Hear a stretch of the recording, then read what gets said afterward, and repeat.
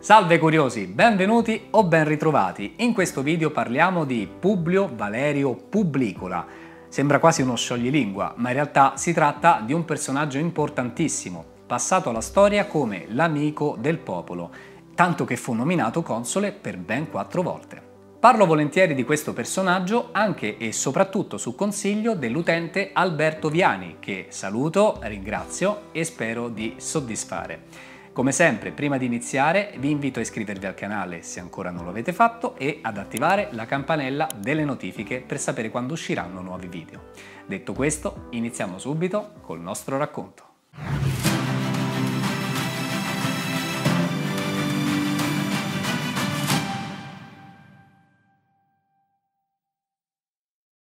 Publio Valerio, di probabili origini sabine, nasce approssimativamente nel 560 a.C. e, sebbene di lui facciano menzione diversi autori antichi come Tito Livio, Plutarco e Cicerone, purtroppo della sua infanzia sappiamo poco e nulla. Ne sentiamo parlare infatti nel momento in cui Tarquinio il Superbo viene cacciato da Roma dopo il suicidio di Lucrezia e come abbiamo già detto riveste un ruolo fondamentale nel rovesciare la monarchia a fianco del console Bruto, il quale però perde la vita nella battaglia della Selvarzia. La nostra storia inizia proprio con il funerale del console, che Valerio celebra in modo solenne e dopo il quale le matrone porteranno il lutto per un anno in ricordo di Bruto, che lo ricordiamo è stato l'uomo che ha rovesciato la monarchia e favorito la nascita della Repubblica, ma eh, che nel suo poco tempo passato come console non ha fatto in tempo a guastare la sua reputazione. Valerio è dunque adombrato dalla figura di Bruto e deve dimostrare di essere altrettanto valido, solo che inizialmente ottiene l'effetto contrario, perché il suo atteggiamento eccessivamente regale, più l'esitazione a nominare un successore di Bruto, per il popolo sono i chiari segnali che vuole aspirare al regno. Inoltre, in quel periodo, Valerio si stava facendo costruire una casa sulla Velia, un'altura posta tra il Palatino e l'Oppio, dove peraltro eh, anche il terzo re di Roma, Tullo Stilio, aveva fatto costruire la sua casa in passato. E eh, quando scendeva a valle da lassù, scortato dai littori, effettivamente dava l'impressione di voler essere il prossimo re di Roma. Fortemente criticato e accusato per questo, e Valerio decide di radunare il popolo e di fare un lungo discorso dove specifica che non ha nessuna intenzione di diventare re, poiché crede fermamente nella Repubblica.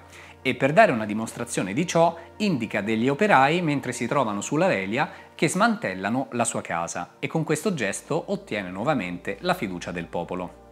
Un giorno, mentre si trova nella sua tenuta di Eretrum in terra sabina, un fulmine cade dal cielo e colpisce un albero nel bosco vicino, e questo viene interpretato come il fatto che gli dei sono arrabbiati. E considerando che proprio Tullo Stilio, il terzo re di Roma, sarebbe stato ucciso da una folgore scagliata da Giove, se fossi stato Valerio, pure io me la sarei fatta sotto.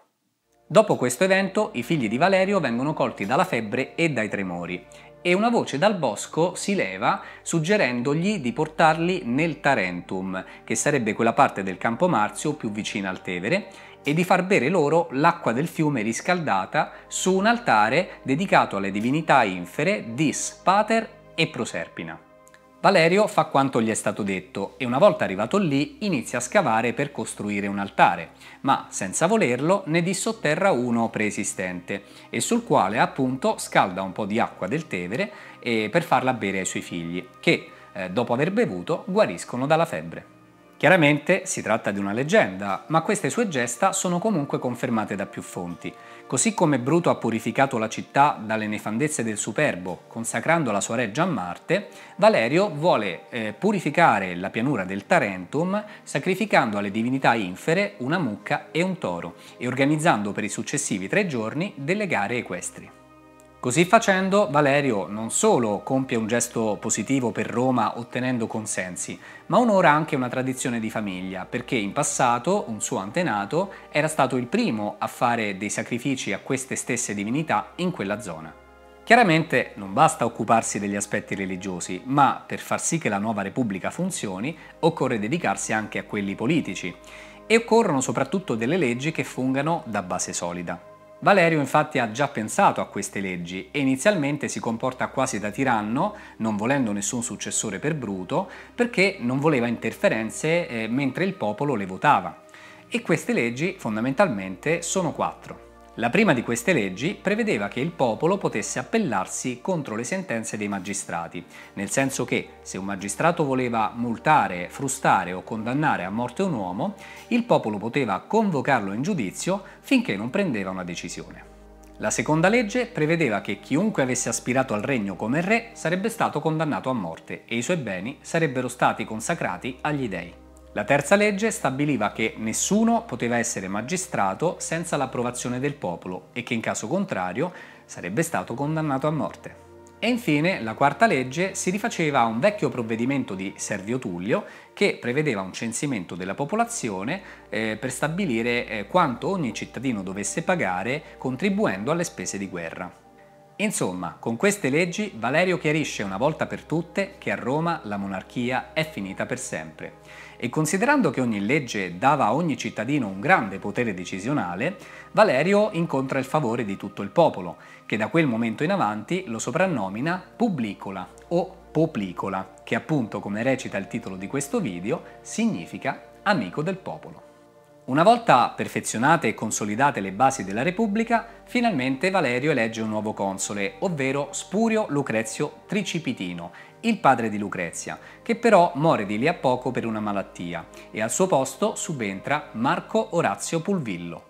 Siamo nel 509 a.C., primo anno della Repubblica, a cui sembra corrispondere il primo trattato con i cartaginesi, che stabiliva vincoli e confini da rispettare durante le rotte commerciali tra le due potenze. L'anno seguente, il 508, vede Publio Valerio console per la seconda volta in compagnia di Tito Lucrezio Tricipitino, probabilmente un parente di Spurio. E in questo anno Valerio si occupa di rafforzare la colonia romana di Signa, l'attuale Segni, fondata da Tarquinio il Superbo, e le colonie di Pomezia e di Cora. Ma questa espansione viene interrotta da una minaccia che arriva dal Gianicolo, ovvero il re etrusco della città di Chiusi, Lars Porsenna. Se vi ricordate, la tradizione vuole che Porsenna attacca Roma per aiutare Tarquinio il Superbo a riprendersela, ma su questo non ci sono prove concrete, mentre è assolutamente vero che per il re etrusco Roma rappresentava uno snodo viario fondamentale per controllare in seguito i popoli latini che vivevano a sud del Tevere, senza contare che la eh, Roma repubblicana era in quel momento più vulnerabile di quanto non lo fosse quando era governata da re Tarquinio. Qualcuno suggerisce che Roma, non essendo preparata ad un attacco, venga assediata da Porsenna, ma questo stride parecchio con il fatto che in seguito i romani eressero una statua in suo onore nella Curia e, secondo alcuni storici, tra cui l'archeologo Andrea Carandini, è abbastanza improbabile che i romani, orgogliosi come erano, avrebbero eretto una statua in onore di un conquistatore. Ed è in questo periodo che si svolgerebbe la famosa battaglia del Ponte Sublicio, dove abbiamo già citato l'eroe Orazio Coclite che distrugge il ponte impedendo agli Etruschi di attraversare il fiume. Ma questo scenario volutamente propagandistico a vantaggio dei Romani non esclude un'altra possibilità, ossia che i Romani ripiegano in città perché vengono sconfitti. E dunque Porsenna resta accampato fuori dalle mura cittadine e rischia quasi la vita ad opera di Muzio Scevola, un altro eroe della tradizione romana di cui abbiamo già parlato. Nel frattempo è l'anno 507, Publio Valerio diventa console per la terza volta e Marco Orazio Pulvillo per la seconda. I due consoli riescono a discutere una tregua con Porsenna facendogli dono di alcune vergini, tra cui c'è Clelia, un'altra famosa eroina a cui la tradizione assegna il compito di rendere questo brutto momento della storia romana un po' meno drammatico. L'anno seguente Porsenna stringe un'alleanza con Roma e lascia la città liberando le aree precedentemente occupate.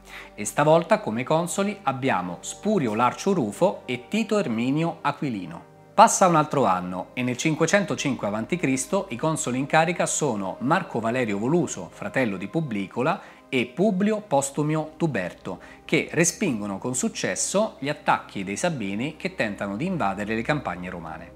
Poi, nel 504 a.C., Publio Valerio viene nominato console per la quarta ed ultima volta, insieme a Tito Lucrezio Tricipitino, nominato per la seconda volta. E dovrebbe essere in questo periodo che Porsenna perde suo figlio Arrunte nella battaglia di Ericcia per mano dei soldati di Cuma, capeggiati dal re Aristodemo, sotto la cui protezione, tempo dopo, morirà in esilio Tarquinio il Superbo. I soldati etruschi superstiti vengono soccorsi e accolti dai romani, mentre Porsenna si ritira a Chiusi, dove finirà i suoi giorni. Nel frattempo i Sabini tentano la ribalta, ma vengono sconfitti da Publicola presso Fidene. E così il nostro eroe torna a Roma concedendosi un grandissimo trionfo. Publio Valerio Publicola, l'amico del popolo, muore l'anno seguente, nel 503 a.C. I suoi funerali vengono pagati dai cittadini e, come per Bruto, le matrone porteranno il lutto per un anno.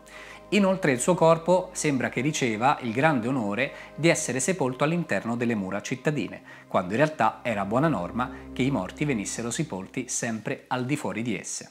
E questa era la storia di Publicola. Ma prima che il video finisca, come al solito, togliamoci qualche curiosità. Innanzitutto, è veramente esistito? Beh, come abbiamo visto anche nella sua storia, c'è del mito, ma effettivamente una prova della sua esistenza è stata identificata nel Lapis Satricanus, o pietra di Satrico, dove il nome Publio Valerio è chiaramente leggibile e sebbene non ci sia nessuna certezza che si tratti veramente di Publicola, la datazione e il fatto che si rivolga a un leader politico di quel tempo giocano a favore di questa tesi. E poi va detto che, nonostante Publicola goda di un'ottima fama e fosse tenuto in grande considerazione da tutti, specialmente dal popolo, eh, ci sarebbe un racconto che evidenzia quanto in realtà tra i consoli della Prima Repubblica ci fosse tanta invidia e competizione. Ci viene infatti raccontato che quando Tarquinio il Superbo era al potere, commissionò agli artigiani di Veio una quadriga in terracotta che sarebbe dovuta essere issata sul frontone del tempio di Giove Capitolino. Ma ovviamente poi Tarquinio venne cacciato da Roma e eh, la cosa rimase in sospeso. Quando subentrano i consoli richiedono questa quadriga e quando viene issata eh, sull'edificio bisogna effettivamente consacrare il tempio a Giove, Giunone e Minerva tramite una solenne cerimonia. Questa viene fissata il 13 settembre del 509 a.C. e il compito spetta a Marco Orazio Pulvillo, perché a Publicola viene assegnata una spedizione militare che lo costringe a lasciare la città. Poco prima che Orazio inizi a pronunciare le preghiere, Marco Valerio, il fratello di Publicola, eh, gli dice che suo figlio è morto in battaglia e questo comportava che i parenti del defunto diventassero impuri, pertanto Orazio non poteva continuare con il rito. Ma eh, da bravo console lui antepone i suoi doveri alla famiglia, chiede che il figlio rimanga insepolto e rinuncia al lutto e prosegue con la cerimonia. In realtà, successivamente, si scoprì che quella era una menzogna, un tentativo mal riuscito per fare in modo che la cerimonia toccasse a Publicola. Quindi sicuramente un amico del popolo, ma anche un po' rosicone. E siamo arrivati alla fine del video. Spero come sempre di avervi intrattenuto e tolto qualche curiosità soprattutto. Mi raccomando, lasciate un mi piace, commentate e condividete il più possibile. Ci vediamo prossimamente con un nuovo argomento. Un saluto a tutti e a presto.